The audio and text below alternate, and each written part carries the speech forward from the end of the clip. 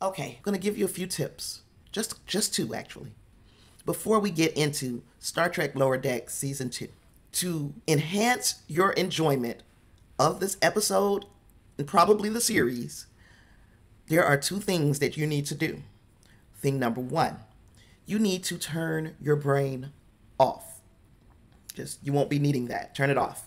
Except for in tip 2, where you need to leave just enough of it on to catch all the Easter eggs that's gonna be flying at you through the whole episode. Like it's like the freaking Easter parade up in that thing. It's Easter eggs everywhere. So if you want to catch all the Easter eggs from prior Trek, you got to leave a fragment of your brain on.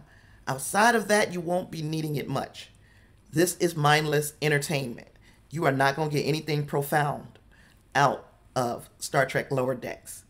With those things in mind, what's up, Trek Nation? Welcome back to After the Snap. I'm your host, Tasha Pierce. Let's go.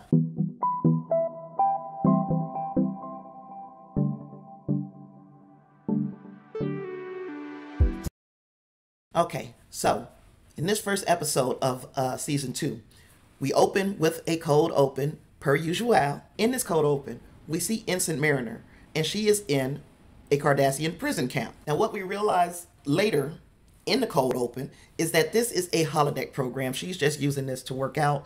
And then Ensign Jennifer, and I don't know, she's an Andorian, she comes in and tells her, hey, your mama wants you. And we find that they have some type of tension. Mariner don't like her, and that's how our cold open ends. And I'm gonna say, as cold opens go, it was it was funny. We find out through her interactions with this Cardassian interrogator that she is not feeling this relationship with her mother. Where we left off last season, they had formed kind of a little alliance. The ship found out that those two were related, and things have apparently changed coming into season two. She and her mother are getting along a little better. Her mother is giving her far more leeway than she did in season one. I think that that's that just reeks of nepotism, and I don't think it would be something that would be allowed in Starfleet. But remember, turn your brain off. Can't can't use that. and then I'm guessing that that rolls into where we start the actual episode, where they are on a planet. They did this cleanup mission. This was their second contact, and uh, Ensign Mariner wants to go down to this planet and power wash some of the buildings, which I thought to myself, well, where's the harm in that? What could possibly go wrong? She's actually doing something constructive. Then I thought about it. I was thinking again, turn that off. You won't need it. At the same time that uh, Beckett Mariner is doing her side mission, Jack Ransom has a, a mission to go down to the planet and consort with one of the leaders for whatever. But what happens is, while Ensign Mariner is cleaning the buildings. She awakened a strange energy, and it hit this energy bolt hit Ransom, turning him into a Gary Mitchell type godlike figure. Now, if you are forgetting who Gary Mitchell is in the original series, there's an episode where called uh, "Where No Man Has Gone Before" that had Gary Mitchell get hit with a blast of energy, and that turned him into a godlike being. And shit, hit the fan when he became a god, okay? So, much like that, Ransom starts off just reveling in these new powers that he got, and then he became destructive. The I guess the at the crux of his destructive behavior was the fact that hey, I'm the first officer on this ship and I'm trying to do things by the book and I have to do things by the book, but the captain is showing favor towards her daughter simply because this is her daughter. Her daughter does not follow orders. Her daughter probably shouldn't even be in Starfleet. And she's getting special treatment. I can understand how that can be a little aggravating. I don't think I would try to eat the ship though. But anywho, and that's one of the things that I have an issue with. It's like you have something or you have a concept that is totally understandable and relatable and then you take it to the flipping extreme with uh, him trying to eat the ship and him doing curls with with his powers and all of this. And I know again, it's it's comedy, but is it really that funny? Like to everybody, would that really be that funny? Now that doesn't mean that parts of it wasn't funny to me with Ransom turning into this god. You know the the fact that he's like uh, egocentric. So the way that Captain Freeman is getting to him and trying to break him out of this spell was by catering to his ego, but if she catered to his ego to the point where he was like, "Well, I shouldn't even be the first officer. I should actually be the captain." And it made him even more destructive. And the way that he this spell was broken on him was not the same way that Kirk broke Gary Mitchell because the doctor in lower decks reminded us on multiple occasions that the way Kirk broke Gary Mitchell was by literally breaking him. He dropped a boulder on his ass. So that happened in the original series. In this Lower Decks episode, they broke Mitchell. I'm sorry, they broke Ransom by kicking him in the balls over and over and over again. That was funny the first couple of times. It stopped being funny because she like curb stomped this man's balls. But anywho, like that's one of the things about this A plot. They had some good tropes and they just took shit too far. It was just you let that joke linger just a little too long and for me, you tell a joke, you land a laugh, and then you move on. But to continue doing the same thing to the point where it stops being funny to me, that's where you start to lose me. And that's where I was getting, that's how I was feeling throughout the A plot of this episode. The voice acting was great. And I'm saying that because I'm thinking of What If, and we'll get to that Saturday in the live stream at 3 p.m. right here on YouTube. But um, the voice acting is always phenomenal. This was no different. I enjoyed the voice. I enjoyed the visuals, and I enjoyed the voice acting. I didn't care for this plot too much. It just didn't do it for me. But what did do it for me was the B story with Tendi and Rutherford. I enjoyed that story, and I would have liked to have seen just a little bit more of them. I would have liked to have seen more of them rebuilding their friendship. Because remember, in last season, the final episode, Rutherford lost his memory, or his memory was was very impaired after he had his cybernetic implant removed, and they had to give him a new one, which kind of it kind of messed his mind up. It messed with his with his uh, memory. And Tendi feels like she is losing the Rutherford that she knew because he's no longer doing some of the things that he did before. For instance, she says he's eating pears. He never liked pears. He couldn't stand pears. Yeah, it would be strange to me if my best friend started eating strawberries all of a sudden and be like, "Bitch, I thought you was I thought you was allergic to strawberries. Who the hell are you?" But that's the way Tendi is feeling. And he's also taken back up with dating Ensign Barnes. Now, in season one, he went on a, a date with Ensign Barnes. And things didn't turn out too well. They didn't get along. They went their separate separate ways. Now that he has these changes to his personality that is brought on by this new implant, he's seeing her again, and it seems like he's enjoying it a little bit more this time.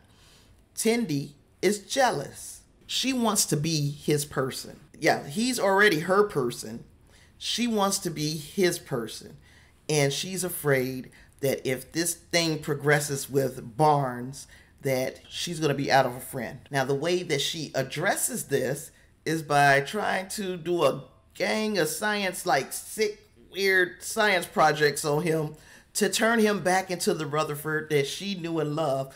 But also, she's just doing stuff just to keep him with her. One thing I did like was that as they were going through their thing and where she was chasing him all around the ship trying to conduct these experiments, you can see the the stuff that was going on with ransom on the outside of the ship is not it's not even phasing them. They've got their own they're so locked in with each other. They've got their own thing going on. And I like that that the the world stops when she and Rutherford are together. They have no clue about the chaos that's going on around them. They are locked in with each other.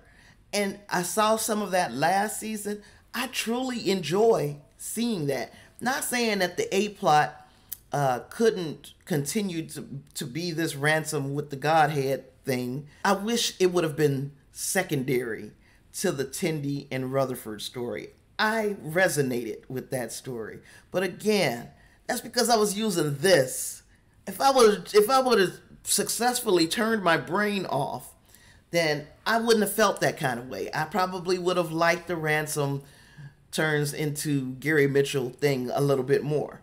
But again, the Tendi and Rutherford stuff seems to be always the stuff that I like the most. And then while ha ha laugh laugh, Mariner kicked Ransom in the nuts until he became Ransom again. Tendi and Rutherford sat down and talked, and she was vulnerable. She told him exactly what she was feeling that she was afraid that she was going to lose her friend, and they came to an understanding that there is nothing that was going to come in between them. I thought that was sweet. It was Star Trek, a little over the top, a little funny, but it was still Trek. And I think that maybe McMahan is understanding his audience. I hope moving forward that we see two plots like this again something for the slapstick people, and then some of us who like comedy, but it it has to be. It doesn't have to be uh, over the top, ridiculous physical comedy. The beats with Tendi and Rutherford are the things, the type of things that I like to see in this series. I'm also smart enough to know that this show is not just catering to uh, me and people like me. They're actually trying to reach an audience that hadn't been reached before. So I have patience with what's going on. It's just in order to keep me interested, we need more relatable humor and less slapstick. And for you, it may be the other way around. And I guess that's one of the things I can appreciate about the show. It's giving something for both. I just wish they would cater to me a little bit more. That's it. At the end, Mariner and her mother come to an understanding that this little coalition that they have is not going to work. It's just not and they have decided that they will go back to not being buddy buddy, but being mother and daughter, or being captain and ensign, especially while they're at work, because I would see how that would affect the crew as well by them, you know, playing mama mama daughter games on this starship. Also, we see uh, Freeman, Captain Freeman, put her foot down and send Mariner to the brig. Now, I think that might have been a little over the top. So seriously, I got this like Bluetooth speaker and like just like right in the middle of everything, some freaking reggaeton music just starts playing out of the speaker. I don't listen to reggaeton, but my neighbors do. So I'm guessing that they hook their uh, radio, whatever, phone, whatever, up to my speaker. So their music is blaring in, in here in the room with me. Imagine how freaking scared I just got when this thing just started spitting. I, I couldn't, I only here, only me. But before we checked out of this episode, we did check in with Boimler over on the Titan, which is Riker's ship. The setup was Mariner, Tendi, and Rutherford all talking and wondering to themselves what Boimler must be up to they going on these cool missions. He's on this bad ship. He probably got his own big room, his own quarters. Oh man, it's got to be nice being Boimler. And then we pan over to the USS Titan, and it's under attack by the Pakleds because they sh- they have been, I guess, trailing the Titan after what happened at the end of last season. And Boimler looked like he would rather be any place else in the world than on that ship is about to go into this anomaly that he has no idea. And he looks scared. He looks scared. And again, like I said, the voice acting is top tier. The animation looks good. Not as good as Prodigy, but it looks good. Not that last season was bad, but again, you get a second season and there are improvements and you can see those improvements. I like all of that. I just didn't like this A plot. But again, and if you enjoyed it, you probably followed my two tips from the top of the episode, which is turn this thing off, but leave it on long enough to catch the Easter eggs. And one of those Easter eggs, of course, was the doctor dropping a boulder on ransom. I kept repeating that that's how basically how Kirk did it back in original series. So at the end, after after uh, Mariner curb stomps his nuts, she drops a boulder on him as well. so so that was one Easter egg. Uh, another one was in the, in the cold open where the holographic uh, Boimler said they keep showing me lights. Still going back to the same episode, Chain of Command from Picard. Um, we saw a wonderfully, wonderfully, masterfully recreated Cardassian ships.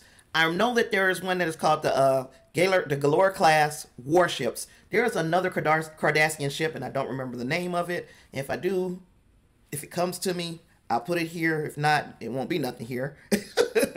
but the ships were faithfully recreated. I think they did an, an amazing job with those ships. Um, speaking of ships, there were like Jem'Hadar ships, uh, the Bajoran interceptor ships, a couple of other different kinds of ships were was in that area outside of that Cardassian facility on the holodeck. So I mean, they are faithfully recreating some of the things that we would, would recognize and notice if you are a hard hardcore Trekkie.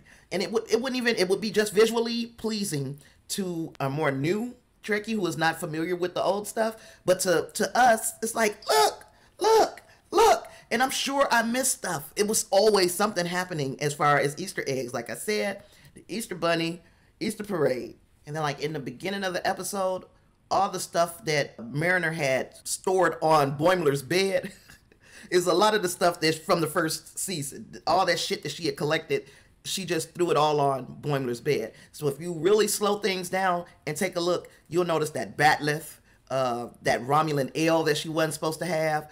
There was a lot of stuff on that bed that was from a callback from last season. But mainly, what I saw this episode as was a way to get reacquainted with the characters, uh, pick up just a little bit of the stuff that happened last season, give you a reminder, because again, you're turning your brain off, so you're not going to remember this shit.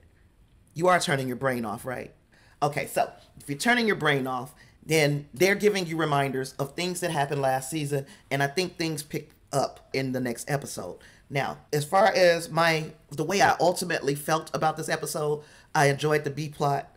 I found aspects of the A plot to be uh, funny, laughable, but I, I, I really, I felt, I felt Tendi and Rutherford a little bit more, and honestly, this is not the first time in this series that has happened. I really enjoyed their side story, and uh, I hope things pick up next episode and, and, improve because again there was a lot to like about season one. Those last uh i'm gonna say at least the last three to four episodes of season one were good, great. I liked them. I mean, it was a lot more to like than in the beginning. I was kind of hoping that we didn't have to get this warm up in the second season, that things would just come and they would just be knocking it out the park. That wasn't the case for me in this first episode. And out of uh, the five stars that I possibly could give this episode, I would probably say two and a half.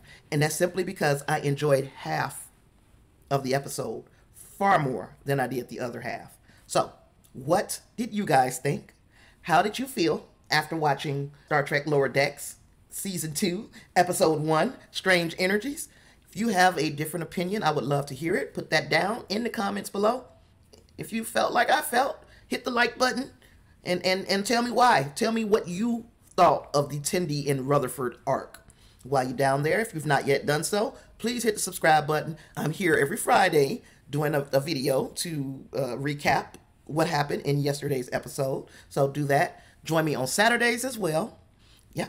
Join me on Saturdays at 3 p.m. for the live stream where we will be talking about uh, What If and Titans and any other little news that comes out. Uh, but we will, that's where we'll be discussing those big shows. I enjoyed it. Love it as usual hanging out with you. Hope to see you next week, Friday. With all that being said, there is one thing more that I want you to do and that is live long and prosper. Peace.